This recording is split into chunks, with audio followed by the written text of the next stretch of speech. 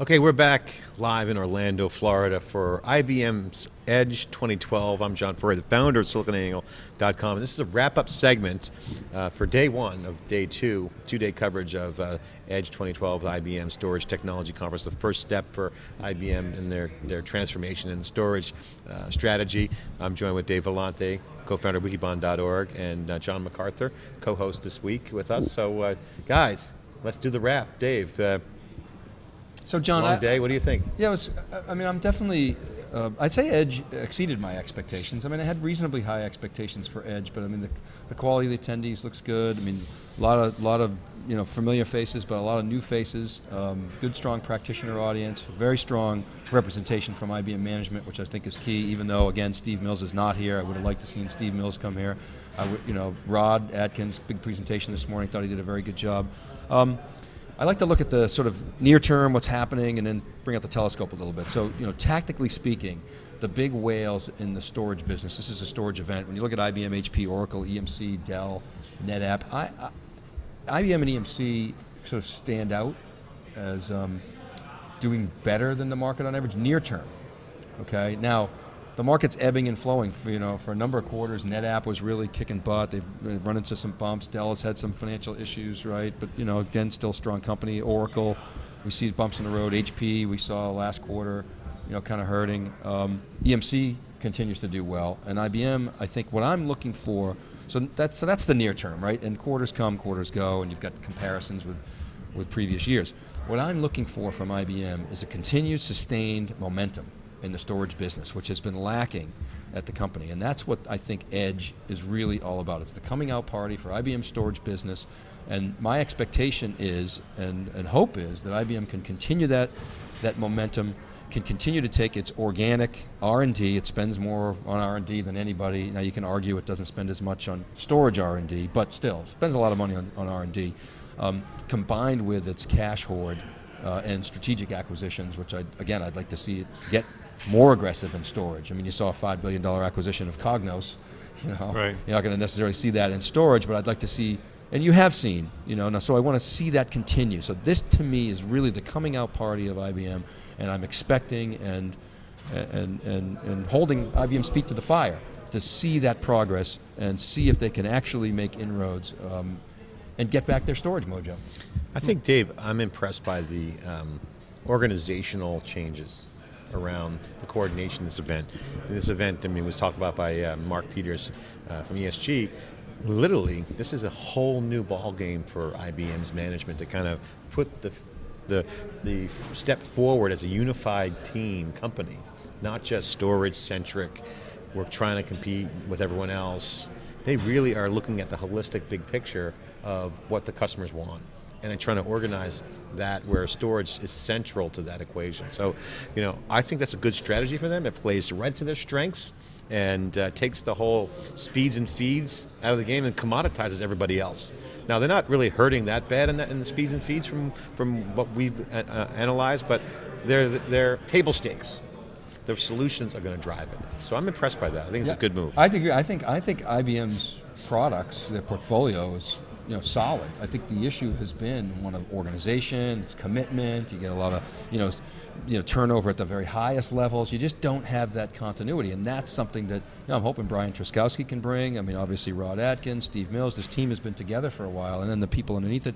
The collaboration with with Tivoli, to me, is one of the most impressive things I've seen at this event. They've been talking about that for a while, and right. you're actually starting to see it, John. Well, yeah, that's right. I mean, I think the first time I, remember speaking to Linda Sanford when she was running storage, and um, she's over in services now. I thought actually she may moved out of services, but uh, and and I said at the time, I think you know, I think he looks like you have a tighter integration with uh, Veritas at the time than, than you did with uh, than you do with Tivoli. And she said, yes, but I'm going to fix that.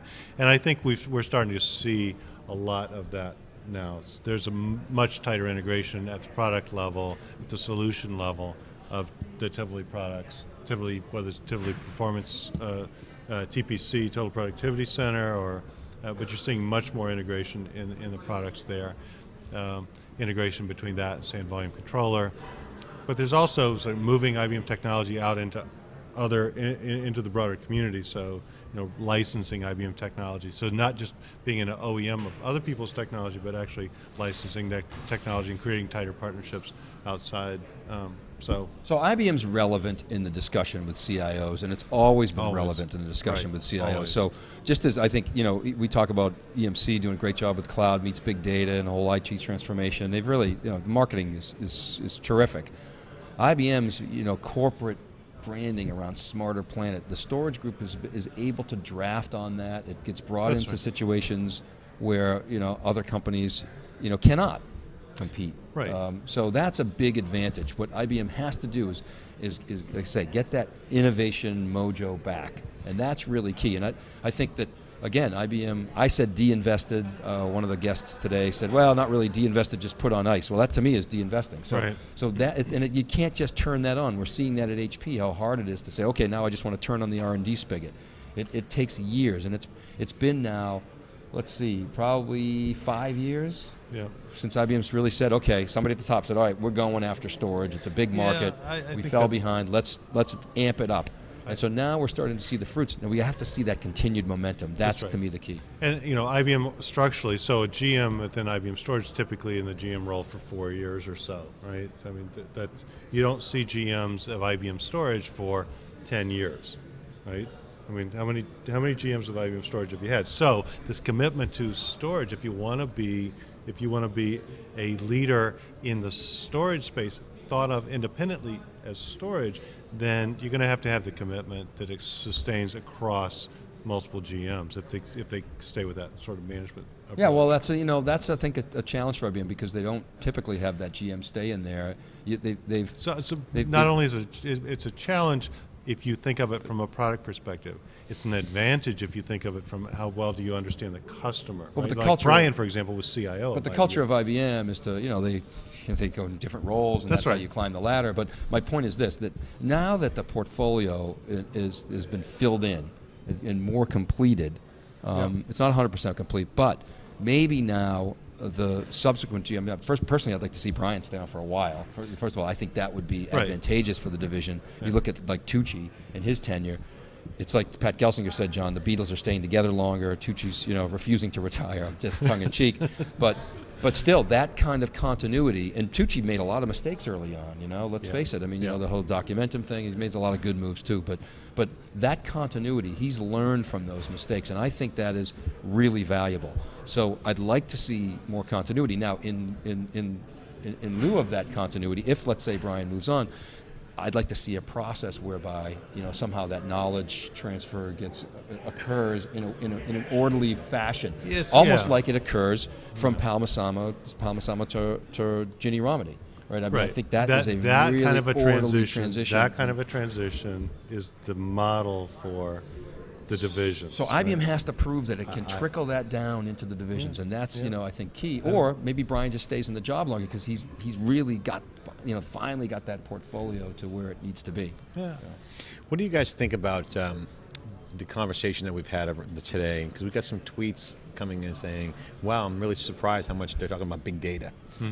Um, Dave, we obviously we all we do is talk about big data and cloud mobile. How much we're talking about? No, no, how about on, the, no, on the cube On and here. at this event. Yeah. Well, kind of both. We we did talk a lot about big data, but we normally do. But for IBM to be that engaged, it wasn't like they were darting their eyes looking for answers. They actually, Yeah, uh, I, I think you're making a really good observation, and the reason why people I think are impressed is because IBM's got substance. You know, like a lot of assets there. Right. You know, it's not big data washing. I mean, they have made some tremendous investments. I mean, you heard from you know Jeff Jonas, but um, and a number of others at this event. So there's some real resources there, and IBM, you know, is a gamer. Yeah, th- th- there's there are clearly problems that are entrusted to IBM to work on uh, that uh, on the analytics side that wouldn't necessarily be entrusted to some other companies, right? So they, they create a body of knowledge within those relationships. I think that that is just extremely powerful, and then being able to leverage that outside of you know military defense government kind of work that they might be involved in with governments around the world you know they then leverage that into more commercial applications that's that may be you know one of the things that they that they wrestle with I mean, you know, it, it, it's par- so it's not only about the product anymore, right? I mean, it's, it's certainly you take a company like 3PAR. It was all obviously about the All about product the or product. Compellent, Compellent about the product. Once they get subsumed into a larger organization, there's so many other factors. So a lot of people criticize EMC and IBM and, and even HP. Look at the EVA for you know the products. They're old, they're deficient, blah blah blah blah blah. A, a lot of the customers don't care. You know, they want a problem solved. Yeah. So what what organizations like IBM do, the big whales, is when they have a hole in the product line, they go buy. Now IBM, we think we've heard consistently, IBM's model is to buy in advance of the bubble, Right. And and that, you know, means sometimes it's going to be hard, you know, to, to pick the right winners, or you might miss some things. You know, we'll see what happens with Flash. Um, I think the XtremIO acquisition by EMC was an attempt to maybe inject a little IBM. Yeah, in- get, in- it, get it a little, get a little earlier. People got to ask. Well, okay, great. Why- I mean, I think I spend- think Isilon was a good move at two billion. I think Data Domain was a good move. It's Right. fine. I, I, I, 3PAR at two point four billion, but but board members have to start asking. Well, can't we pick these companies up for less? Right. you know, And the only way you can do that is bet earlier. We're not buying their customer base. We're buying their technology to put into our customer base. So I think IBM's got that right. And uh, and to have some real strength around the how do you how do you bring the technology into a systems company and deliver to the customers you know as as a as a solution with all of the overhead of blue washing it took nine months to blue wash xiv right so that and that's actually record time for them i think i i, I didn't know they could actually yeah, I think XIV was actually much faster. I think take, take like Storwize for example. That took a lot longer. Than yeah I- blue wash that one yeah right? They- I mean, yeah they, that technology is coming out basically this week, you know, embedded, which Right. we had predicted would be the, the trend Right. that real-time compression. What do you guys that's- expect next? From we're going to have all day tomorrow. We're going to talk to partners and customers tomorrow. Um, today was exec day. Management Right. talking to us. Um, what do you think is, is the going forward uh, plan as you see it? And what do you guys think we need to look for? Kind of a, not, I guess, scorecard, check boxes. What do you think IBM needs to do going forward from this point? To me, IBM's got to prove to the channel that it is a, an attractive partner to do business with, and I think it's got to demonstrate that it can, in storage, that it can really change the game outside of the true blue accounts. That, to me, is the key, and it's made some progress there with XIV. yeah Um, a lot of that is sort of accounts that used to do business with IBM, where IBM had a really strong relationship, but they haven't bought storage in a couple of years, and now they're back. So, I want to see more of that across the portfolio. That's, I think, the key, Right. and I think that's what the channel is looking for. And it, you know, it's, to me, it's all about the channel right now. The, the IBM channel has been one of the most loyal channels out there. Let's let's be clear. You know, you, Yeah. you invest heavily in IBM. IBM invests heavily in you.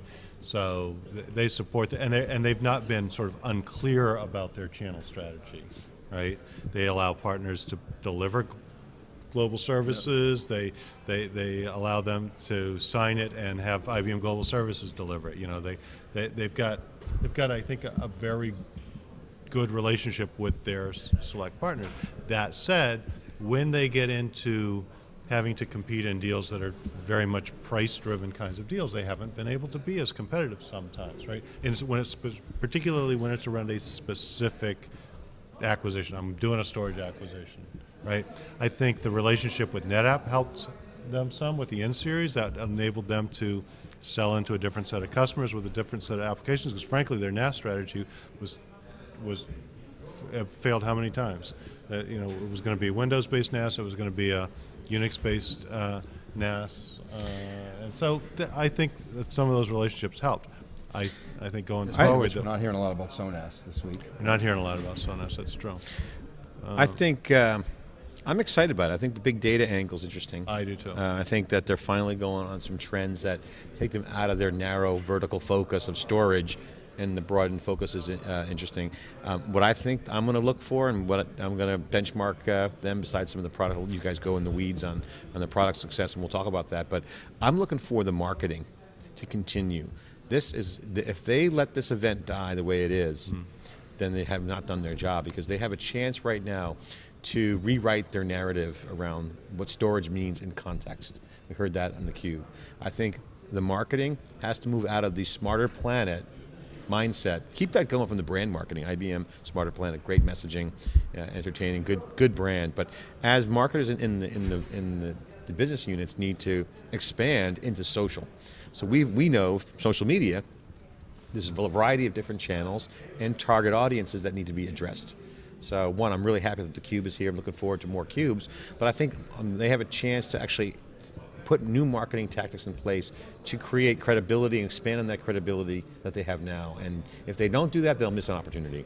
Take a little more risk as it relates to, uh, take well, take advantage of more channels than what they've. taken Well, I, I wouldn't say it's a risk. I just think there's an Yeah. unserved market out Yeah. there of people who want to know what's IBM's what IBM is and, and relative to storage and solutions. And you got Tivoli, and you got they got cloud, they got everything. IBM has the packages. Right. They have the total package. If you had to put a team together and say compete in this uh, cloud mobile social world, Mm-hmm. they have all the assets. The question is, can they assemble that? Looks like they're going to, and just a matter of telling people. Right. Yeah, I think I think one of the I think one of the big issues is how do you get how do you um, take away some of the negative perceptions of IBM when you think of them narrowly in the context of Yeah. storage historically, um, uh, historically for the last 10, 15 years or so. Um, and and how do you how do you sustain and grow the positive messages going forward? I think you're right. Well, IBM's ace in the hole continues to be the brand, right? Yeah. And Absolutely. the services. Yeah, that's what I and mean. they have client relationships solid. Well, and their knowledge of verticals, and there's, I mean, like nobody does the deep kind of vertical segmentation that IBM does to give a knowledge of applications, you know, and business processes within verticals. So the point is that that, that fundamental has allowed the storage group to to make some missteps and be, be somewhat complacent. And then finally, you know, there was the wake up call, let's say five years ago. Okay. And um, you know, again, I expect steady, slow, steady, you know, progress because IBM's got the right model. You know, the, the economic model inside IBM obviously works. You know, the M and A model obviously works. And so, um, I mean, IBM has got a great position right now. They have uh, some things to work on. We've talked about that. But on the positive note is, Dave, to your point, they have incredible customer focus. Um, they do have a strong channel that they've invested in. They could be broader on the channel side, I think, um, there, but they have great focus on the customer and they know the verticals and they have the relationships. So it's a supplier question as a, as a brand. So they have that as an ace in the hole. And I think storage is smart not to draft on other events, Dave. You pointed that out earlier today. And I think that is absolutely a great thing. Control their own destiny, have this kind of event, put programs in place that are storage centric, but not just storage product. Good point. Yeah, right. And I think that th- their ability to do do uh, data analytics specific to business problems that they see their customers facing, I think that's Yeah, and I think you know the marketing side. One thing that I will say has been great is the Watson uh, campaign. It's Right. been fantastic. They've gotten great press, um, great flexing their muscles around big data. But yet, that's a storage problem. Big data is about storage, right? But yet, analytics. It's they're in this weird zone where storage is the king of the market right now in terms of what people want to talk about and build on. And yet, it's solutions around storage. So, It's, uh, yeah, yeah. analytics is an example, right? So, um, interesting. Well, and I and I think I think as things move to more real time analytics, you know, that's an area where you know they understand they understand real time. Okay, so that's a wrap on on IBM, guys. Great day today. Um, also, news around big news happening around the web. Dave, um, Xbox signed uh, deals with ESPN. Um, a lot of stuff going on with E3. Microsoft's this amazing. Uh, uh, living room takeover opportunity for uh, cord cutters for the web. So I mean, Xbox has got a huge platform, expanding on that gaming platform to bring TV to that platform is amazing. And just general news, you know, the war games. We've been covering the uh, cyber war between the U.S. and the Stuxnet virus. So a lot of stuff. Go to siliconangle.com. Siliconangle.com is where all the, that coverage will be. Wikibon.org is where all the research is. Go there and check out the free content on both sites. And obviously, siliconangle.tv is where the videos are. And if you're on YouTube, you can go to uh, youtube.com slash siliconangle, and all the videos from the Cube are up there. So um, hope you enjoy that content. Um, want to say um, thanks to IBM for letting us be here, uh, be this independent media, watch their commercials. They support us, and uh, so support them by watching their commercials. Dave, thank you very much. thanks for having me, John. John? Okay, guys, that's a wrap from day one here at Edge 2012, live in Orlando. We'll see you tomorrow.